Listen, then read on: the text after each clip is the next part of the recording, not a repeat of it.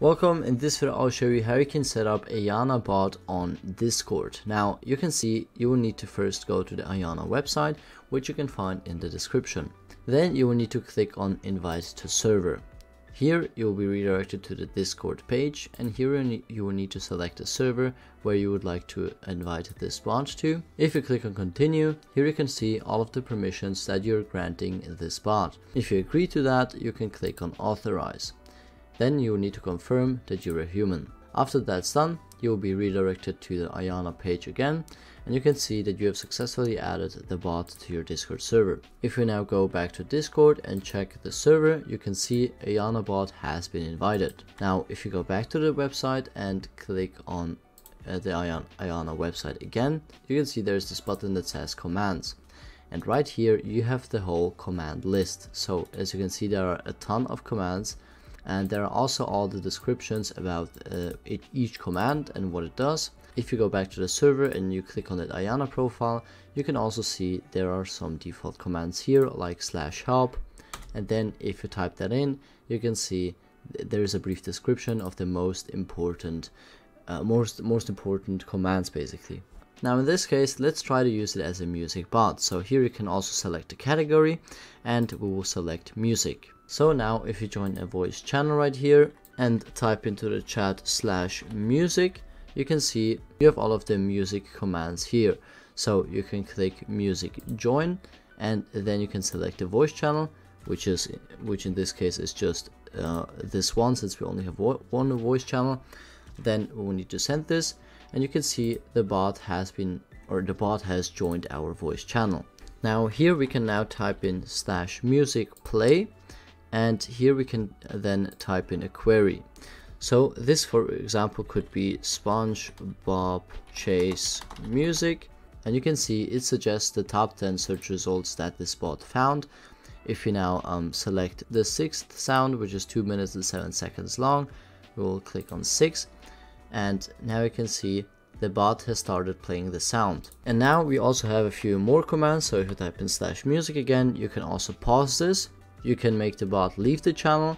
You can also um, just skip to a specific song here. And you can also skip back in that queue list so you can basically just listen to the song that was previously played. And if you scroll down you can see there are a lot more commands about this. Now I will need to pause this spot because it is kind of irritating me and I cannot talk while I'm listening to something. So uh, I've paused this spot now. I'll type in I will type in music again. And if you scroll down you can see stop skip shuffle. So this will shuffle the queue uh, rewind reset repeat. You can see and and you can even set the volume. And so that's how you can play music. Now let's take a look at all of the other commands which is for example general and images. So if you now type in slash blush then type in enter you can see there is this gif of someone blushing if i type it in again you can see there is displayed something else. However, it is basically just this blush that is being displayed.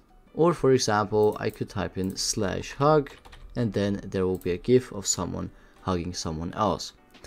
So you can now scroll up again and here we have some general commands as well. So you can also clean chats or you can also ban or kick someone using using the bot. Now if you go back to their website you can see there are all of these commands here so if I now um, go to the section of music again, you'll basically see all of these commands, which is music in this case, as you've seen.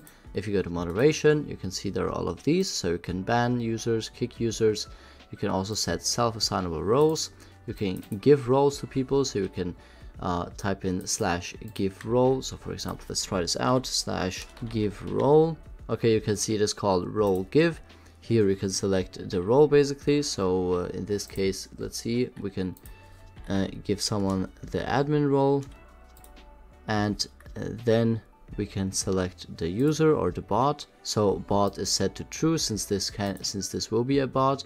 And here if I now type in the username which is Fredbot in this case and if I now type uh, and if I now hit enter you can see this is actually wrong since we cannot use um, since we only can use one of these so let's try this again role give.